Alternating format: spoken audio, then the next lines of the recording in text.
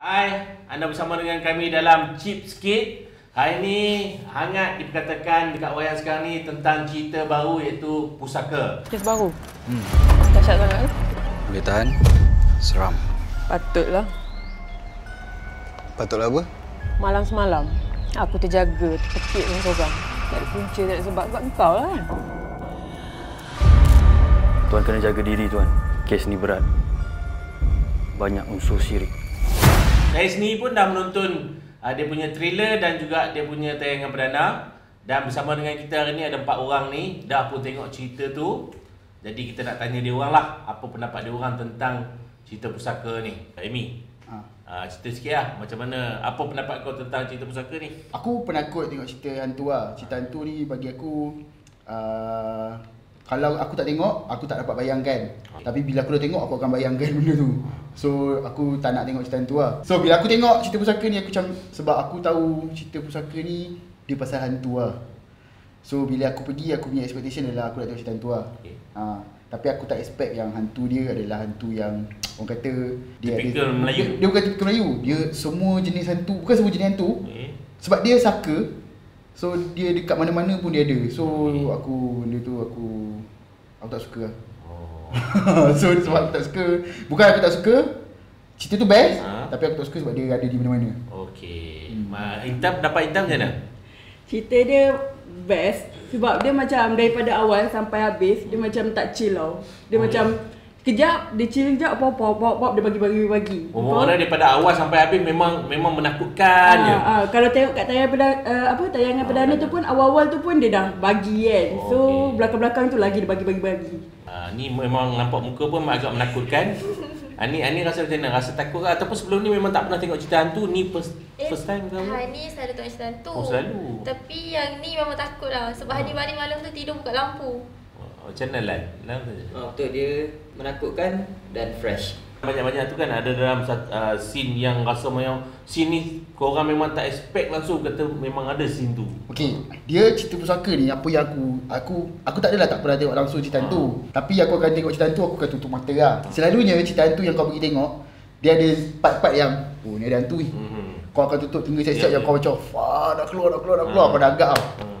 Jabu Saka ni Dia ada part-part benda tu Yang kena fuck fuck fuck fuck fuck fuck fuck fuck Tak ada Tak ada macam babi tak ada siapa oh. dia keluar macam oh. pinky mak bro oh, mana oh, mana lepas kau ingat oh tak ada ni ah. dia keluar ah. so kau dah kau dah macam oh tak ada ah. kau dah macam oh tak ada ah. Pop dia keluar. Aku macam babi aku dah buka telinga dah sial. Ha, ha benda tu. Makna pengarah ni dah tahu dah sebenarnya mungkin dia dah tahu kata okey sebelum ni dia tengok okey selalu orang dah dah dah tunggu okey tahun ni mesti ada mesti ada. Ah. Jadi dia bagi selepas tu lah. Ah, dia bagi selepas tu. Ah. Pemilihan pelakon tu kau orang rasa macam uh, Syafiq Kai tu sesuai ataupun tak untuk berada sebagai hero dalam cerita tu ataupun rasanya ada lagi orang yang lebih berbakat untuk ada kat tempat tu. Ah, tak kisahlah pelakon-pelakon lain ke apa. Kalau pelakon eh aku cakap aku tak tahu pasal Syafiq Kai lah. Mungkin aku tak pandai nak uh, cakap pasal pelakon lah. Tapi dia punya pelakon-pelakon tambahan dia, pelakon-pelakon yang support dia tu semua uh, memainkan peranan yang elok lah. Dia macam yang Mamat yang kawan baik dia. Bukan kawan baik dia yang inspector. Ha, Saja. ha, ha, saja tu. Lokman. Ha, saja Lokman seorang tu. Lepas tu apa? Uh, Faizal Hussein tu. Lepas tu ada lagi seorang yang uh, tukang ambil gambar, fotografer. Al- Al- Aloy. Ha, Aloy, fotografer tu. So diorang ni kat situ diorang uh, memainkan peranan diorang yang elok ah. Untuk cerita tu jadi jadi komplit macam tu. Ha. Sebab aku rasa kalau Syafiq Khan seorang ataupun dengan Mimi Lana ke Tak benda jadi tu lah. tak jadi lah sebab dia punya kalau kau tengok pelakon-pelakon tambahan dia Hmm. dia punya bukan pelakon tambahan tau dia punya pelakon lain lah pelakon lain tu semua supporting karakter dia semua tu dia memainkan peranan dia macam ada apa uh, Fauzi Ahmad Daud eh Hmm. ha, Kak Oji Yeah. apa jadi mak dia tu aku tak ingat siapa nama dia tu pun ada part-part dia yang kau macam oh shit man Oh. dia sesuai dengan karakter dia orang semua lah. lepas tu macam benda tu komplit lah komplit cuma aku satu benda yang aku aku tak tahu lah kalau dia orang rasa ke lah Faizal Hussein cakap utara tu dia macam aku ha kan aku Dia rasa nampak macam macam hype sangat lah dia Ah. nak try cakap Ah. utara tu. Ah. Otak aku ni memang kena tata tertib dah. Aku tarik balik pistol depa. Hampa rasa cerita cerita seram yang macam mana yang rasa macam mungkin ham- hampa rasa macam tak pernah ada lagi dekat Malaysia yang rasa macam kalau ada cerita macam tu oh best. Ha. Ini pusaka ni. Mhm. Pusaka ni dah dah dah tipikal dengan Pusaka ni memang memang dah memenuhi apa punya cita rasa hampa rasa. Okay, dia menakutkan dan fresh. Macam tu Hmm. lah. Okay, sebelum ni kita dah dihidangkan dengan typical Samsul apa? Samsul Yusof. Samsul Yusof Hmm. ni cerita-cerita seram. Hmm. Ha, so ini kira macam baru lah. Ha. Dia aku bukan nak cakap apa lah dekat pusaka ni sebab aku rasa dia dia relate dengan kau punya kehidupan seharian tau. Hmm. Ha, bukan dia relate sebab ada saka benda ke tak ada lah. Tapi uh, macam kau pergi hospital, dekat hospital ada hantu. Kau tengah Yalah. ambil wudu, Orang ada, tahu ada, lah. ada hantu kat wudu, ambil tengah ambil wudu. Benda-benda tu macam benda yang kau hari-hari kau kau lalu. Hmm. Lepas tu ada hantu kat situ. Oh. Selalu kalau kau tengok hantu mesti kat cerita dekat apa dekat hutan. Hmm. Dia ada scene kat hutan yang ada hantu. Yes. Ha. Lepas tu kau mesti ada macam scene hantu kat bawah katil. Hmm. ada hantu bawah katil. Kalau aku kat rumah dulu, kecil-kecil aku takut store. Ah. Ah, kat dalam store ada hantu. so cerita ni Oh, Wah, dia dah dia dah kaji semua dah tempat-tempat yang memang tempat yang menyeramkan Ah. yang memang kita lalui waktu kecil betul. memang ada. Ha, lepas tu bila dia ada semua tempat tu, jadi bila kau tengok filem tu, kau macam oh kemungkinan besar kat sini pun akan ada hantu. Sebab apa? Sebab kat semua tempat dia letak hantu. Okey. Ha, kat dalam balai polis pun ada hantu. Waktu siang pada tu. Waktu siang tu ada hantu tu mungkin orang tak expect lah. Sebab sebelum ni kalau kita tengok cerita hantu malam Ha, je semua kan. Dia buat dia buat sampai kau rasa macam even scene waktu siang pun kau tak senang duduk sebab dah ada hantu waktu siang. Ha. Okey, korang dah tengok cerita tu sekarang ni kan uh, pengalaman korang lah. Pengalaman korang apa yang korang rasa yang paling menakutkan dalam cerita tu? Ha, Intan. Paling obvious yang mak dia tu lah Bismillahirrahmanirrahim. Dengan make up dia pun semua Lepas tu dengan Pelakon dia tu memang A lah Memang dia bawa watak tu memang gila Gila babi punya lah Watak dia sampai lah. Ah, Ha, kalau Hani ada rasa scene yang dekat Masa dia cari adik dia hujung-hujung tu Yang dia masuk dia cari adik dia dekat kawasan abandon tu Oh okey. Nampak dia sebenarnya orang setiap orang dia Dia lain, Dia lain. lain Ah. rasa takut dia. Jalan Macam aku sama ke ah yang scene yang dalam rumah tu. Sebab tu waktu siang. Oh. Ha, lepas tu itu aku rasa sebab bila sampai dekat part tu dia memang aku sendiri dalam pang, dalam panggung tu aku rasa vibe dia lain.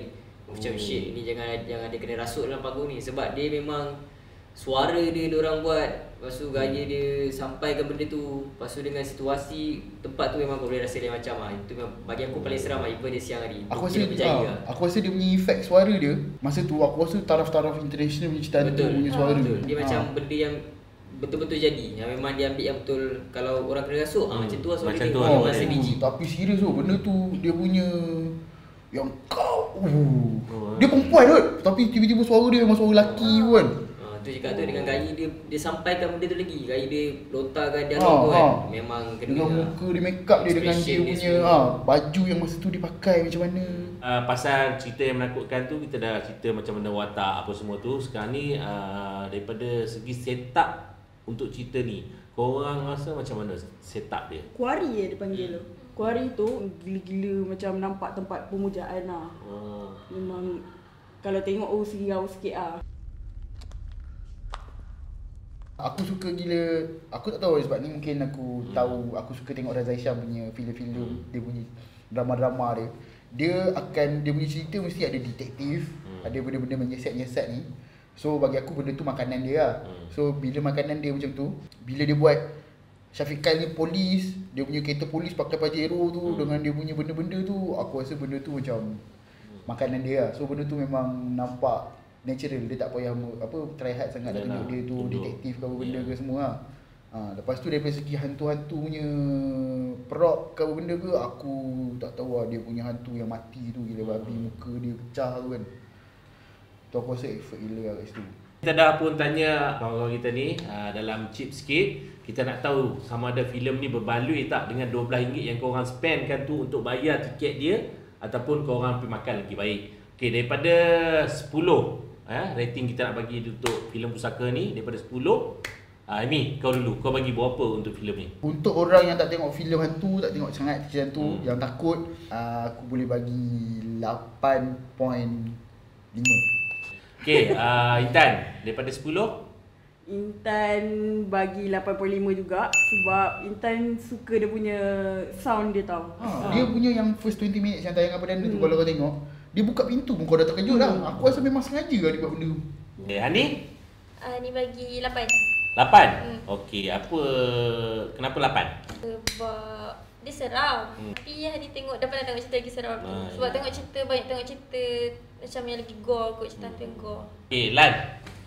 Aku bukan orang yang bagi review filem tapi pergi mampus lah. So sebab aku rasa best, aku bagi 10.